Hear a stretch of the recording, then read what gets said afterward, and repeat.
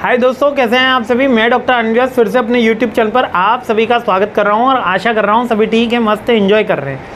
थोड़ा सा नॉइस हो सकता है, ये मैं मान सकता हूँ, क्योंकि हमारे यहाँ पे अभी हैवी रेनफॉल हो रहा है तो पूरा साउंड प्रूफ है वैसे तो ये हॉल लेकिन फिर भी थोड़ा नॉइस का वेरिएशन हो सकता है तो इसके लिए मैं माफ़ी चाहूँगा आप सबसे कि आपको थोड़ा सा नॉइस का डिस्टर्बेंस हो सकता है, लेकिन फिर भी मैं आवाज़ ज़ोर से बोल के नॉइस थोड़ा कैंसिल करने की कोशिश कर रहा हूँ, और समय कम है, इसलिए हम इसको एडिट भी नहीं कर रहे हैं और सीधे अपलोड कर रहे हैं। ठीक है, फिर भी कहीं हो तो बताइएगा ज़रूर।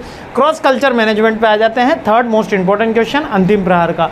सिंपल से पूछ रहा है कि कल्चर के अंदर ये बताओ वैल्यूज़ क्या होती है वर्ल्ड व्यू क्या होते हैं और सोशियो कल्चर सिस्टम क्या है? यानी कि कल्चर क्या होता है? कल्चर के अंदर इंडिविजुअल वैल्यूज़ क्या है सोशियो वैल्यूज़ क्या है और आपका वर्ल्ड व्यूज़ क्या है? तो वैल्यूज़ बेसिकली एक बिलीफ होते हैं, एक सेट ऑफ़ आइडियाज़ होते हैं जिनको फॉलो किया जाता है। और कोर प्रिंसिपल्स होते हैं जो कल्चर को इम्पैक्ट कर रहे होते हैं और कल्चर को डिस्क्राइब कर रहे होते हैं। लाइक कि वैल्यूज़ आपके हर इंसान के अलग अलग हो सकते हैं, है ना? वैल्यूज़ हो सकता है कि सुबह उठ के हमें माता पिता के प्रणाम करना चाहिए, कोई कहेगा कि नहीं करना चाहिए, हमें तो भगवान को प्रणाम करना चाहिए तो कोई कहेगा नहीं माता पिता ही हमारे पहले भगवान है तो हमें उनको कहीं करना चाहिए। कोई कहेगा कि नहीं, मेरे को तो मस्जिद में जाना है, कोई कहेगा नहीं, मुझे तो चर्च में जाना है तो सबके वैल्यूज़ अलग अलग होते हैं। तो values are the principle which were develop by our society, by our religion, by our individual self, है ना? तो वैल्यूज़ कोर प्रिंसिपल्स होते हैं, डिफर करते हैं one to one person. One to one person, हो सकता है आपकी वैल्यू आपके ब्रदर सिस्टर की वैल्यू अलग अलग हो। ठीक है वर्ल्ड व्यू क्या होता है? वर्ल्ड व्यू के अंदर इसका आप कह सकते हो फंडामेंटल जो फंडामेंटल कल्चरल के बिलीफ होते हैं कि परमात्मा एक ही है, उसी ने हम सबको बनाया है, वही है जो करने वाला है, हर सोसाइटी यही बात कर रही है, हर कास्ट रिलीजन यही बात कर रहा है कि वही परमपिता परमेश्वर है जिसने सबको बनाया है और उसके कारण ही हम सब हैं।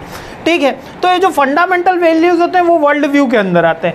ये होते हैं, ये ह्यूमन बींग के एग्जिस्टिंग के अकॉर्डिंग जब बात करी जाती है तो वह वर्ल्ड व्यू के अंदर आती है। यहाँ पर थोड़ा सा आप रिलीजन बैकग्राउंड से ह्यूमन वैल्यूज़ के बैकग्राउंड पर जाओगे तो आपको ईजिली समझ में आ जाएगा।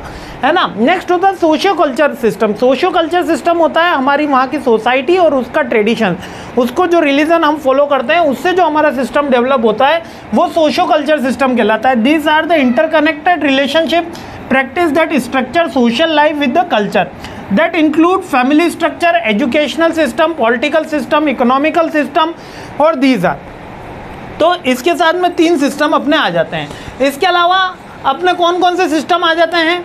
हाउ दिस अब ये आ गई बीच में। चलो, भागो।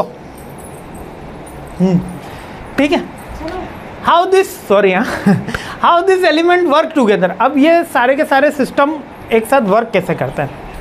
अब ये सारे के सारे सिस्टम एक साथ वर्क करते हैं जब हम सोशियो कल्चर इंडिविजुअल कल्चर और वर्ल्ड व्यू तीनों को साथ में कंबाइन करके देखते हैं, क्योंकि कल्चर जो है, वो इंडिविजुअल नहीं होता। कल्चर क्या है? एक ब्रॉडर कंसेप्ट है, जिसके अंदर सोसाइटी का भी रोल है, जिसके अंदर इंडिविजुअल वैल्यूज़ का भी रोल है, जिसके अंदर इथिक्स का भी रोल है, जिसके अंदर N numbers of the things include होती हैं। ये ऑलरेडी फ़र्स्ट वीडियो में मैंने बहुत डिटेल में बताया है। The culture values individual values भी है, इसमें वर्ल्ड व्यूज़ भी है, और हमारा सोशल कल्चर सिस्टम भी है। तो सर, आपके मन में क्वेश्चन यही आ रहा होगा कि सर, हम इसको सबको समझ जाए कि वर्ल्ड व्यू भी समझ गए, हम कोर वैल्यूज़ भी समझ गए और इंडिविजुअल की भी समझ गए और सोशल कल्चर भी समझ गए। तो इसका बेनिफिट क्या होगा? इसका बेनिफिट ये होगा कि जब भी हम कल्चर की ये डाइवर्सिटी समझ जाएँगे कल्चर का डिफ्रेंशिएशन समझ जाएँगे एज अ बिजनेसमैन तो ग्रेवियंस कम होंगे। कॉन्फ्लिक्ट कम होंगे ग्रोथ होने की पॉसिबिलिटी बढ़ेगी सस्टेनेबल ग्रोथ होने की पॉसिबिलिटी बढ़ेगी। अब कोई हिंदू सोसाइटी के अंदर आके नॉनवेज की शॉप लगाएगा तो वहाँ पर ग्रोथ होने की प्रोबेबिलिटी कम हो जाएगी। और वहीं पे अगर कोई नॉनवेज जैसे कि आप कह सकते हो कि क्रिश्चियन सोसाइटी या मुस्लिम सोसाइटी में जाके नॉनवेज की शॉप लगाएगा तो वहाँ पे उसके चांसेस बढ़ जाएँगे। यहाँ पर आपको बिज़नेस परसेप्शन से बात समझाने की कोशिश चल रही किसी कास्ट रिलीजन के किसी अदर फंडामेंटल वैल्यूज़ से बात नहीं। तो आईबी का जो सब्जेक्ट यही कहने की कोशिश कर रहा है कि अगर आप कल्चर को समझ जाओगे तो कॉन्फ्लिक्ट कम होंगे। मैकडे इंडिया में आया था, मैकडोनल्ड का कॉरपोरेशन फ़र्स्ट टाइम इंडिया में आया था और उसने बीफ बर्गर बेचना स्टार्ट किया था। भाई साहब, शिवसेना ने दौड़ा दौड़ा के भगाया था। उसके बाद वो आया और कहा कि नहीं, हम बीफ बर्गर नहीं भेजेंगे है ना? और हमारे यहाँ पर बीफ बर्गर अलाउड नहीं। जबकि जर्मनी में आप जाओगे, मैकडी के शॉप में, अमेरिका में जाओगे तो वहाँ पर आपको वेज बर्गर कम मिलेंगे। और मिलेंगे ही नहीं जर्मनी में जाओगे तो। पर वहाँ पे नॉन वेज बर्गर मिलेंगे और यहाँ पर आपको अधिकतर वेज बर्गर मिलेंगे। ठीक है तो ये बात आपकी किसकी हो जाती है? कल्चर की हो जाती है। तो कल्चर अगर बेटर अंडरस्टैंड होगा तो कॉन्फ्लिक्ट कम होगा कम्युनिकेशन इंप्रूव होगा स्ट्रांग रिलेशनशिप बनेगा किसका? आप बिजनेसमैन और कस्टमर का, और नए पर्सपेक्टिव जुड़ जाएँगे। ठीक है आई होप सारे के सारे पॉइंट आपने कवर अप कर लिए हैं। कहीं कोई डाउट कहीं कोई थ्योरी आपको मिस नहीं हुई होगी। एक नट शेल में बता देता हूँ, तीन चीज़ें हैं। वर्ल्ड व्यू की है इंडिविजुअल है और सोशियो कल्चर है। तीनों को मिलाकर हमारा कल्चर डेवलप्ड होता है और तीनों का डाइवर्सिफिकेशन ध्यान रखोगे तो बिज़नेस में ग्रोथ होगी। इसके चार पॉइंट है कॉन्फ्लिक्ट कम होगा। रिलेशनशिप स्ट्रॉन्ग होगा कम्युनिकेशन स्ट्रॉन्ग होगा और नई नई चीज़ें होंगी।